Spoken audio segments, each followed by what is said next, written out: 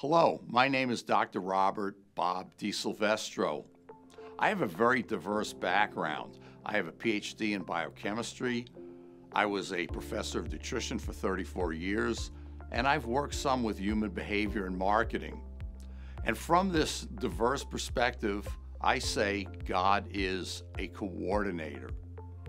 A lot of people say God's a designer, and that's true, but being a coordinator is a particularly high level of being a designer.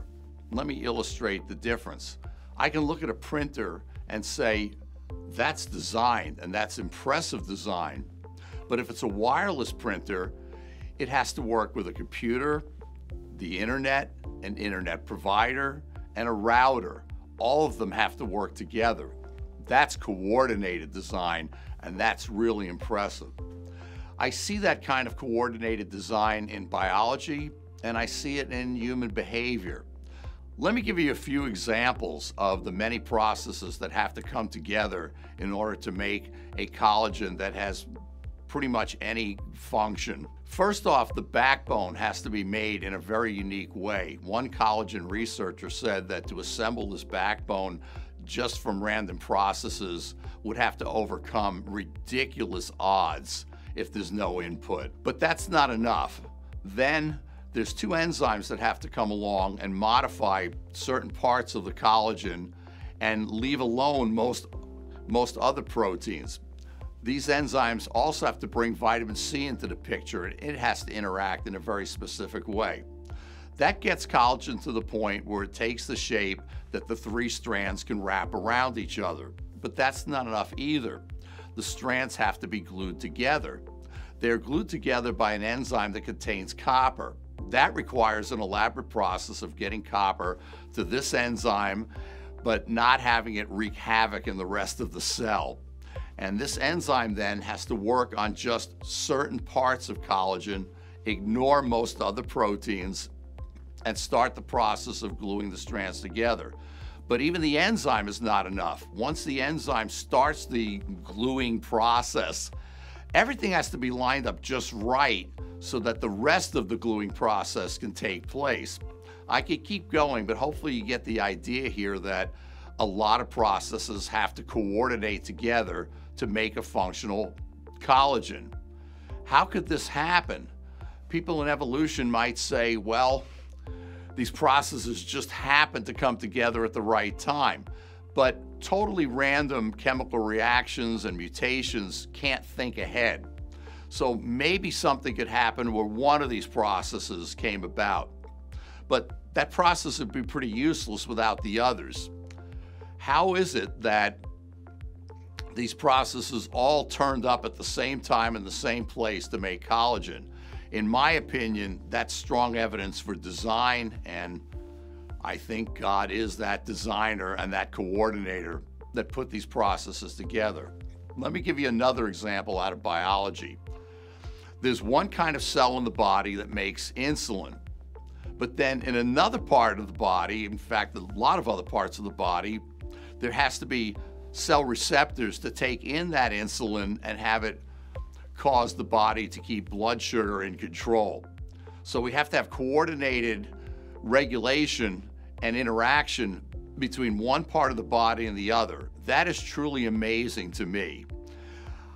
This comes into play a lot with drug design. I've done a little bit of research in this area, and I know that it's very hard to design drugs that don't throw systems out of balance because in the human body, we have to have many systems be coordinated for the body to work at its best. So when drugs are designed, even by pharmacologists with a lot of intelligence and a lot of technology, we often get side effects because it's very hard to affect one part of the body without messing up something else. So if pharmacologists and all this technology with all this intelligence have a hard time keeping the body coordinated, how can we believe that random processes could do a better job and create a body with such great coordinated function? Human interactions show this too. As I mentioned earlier, I've done some work in marketing. The early church was a marketing loser. It had no money, no military backing, no political might, And the early church spread a message that was centered on a physical impossibility that Jesus died and rose again and came back from the dead. And yet the church spread so well. I think that's a miracle and shows that God really had a, an effect on people's hearts. But there were also a number of circumstances that came together at the same time, and I believe that God orchestrated these to help the spread of the early church. For example, in the ancient world, it was very common to have a lot of wars going on.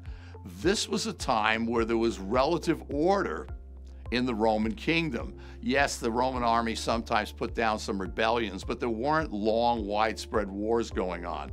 There was order that allowed the church to go out and spread.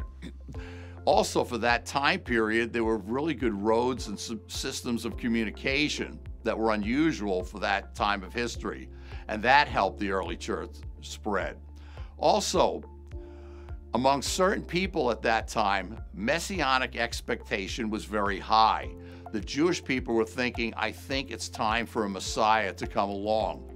So the early church was able to take advantage of that and at least convince some people that Jesus was the Messiah. Also, the Roman culture that was prevalent at the time really contrasted Christian behavior. So Christian behavior could stand out as very different from the Roman culture, and that attracted a lot of people. Also, one of the competing spiritual views at the time was that of the traditional Jewish people. The early church was composed of both Jewish people and non Jewish people.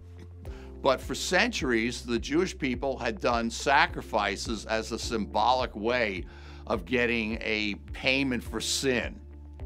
Now, the Christian church is coming along and saying that Jesus, when he died and was resurrected, he became the real sacrifice, not the symbolic one. He became the real sacrifice for sin, and those symbolic sacrifices were no longer needed. But they were still going on. Well, in that generation, the Romans came in because some of the Jewish people had agitated them the Romans came in, destroyed the temple. That was the end of sacrifices. Now, I don't think God delighted in seeing Jewish people killed or the Romans coming in and destroying the temple, but he knew was going to happen. So the timing to send the Messiah just before that was perfect because now the Christians could say Jesus is the ultimate sacrifice, and this competing system of symbolic sacrifices was knocked out of the picture. So, God orchestrates processes in biology and he orchestrates processes in human behavior for his purposes. Therefore, I say that God is a coordinator.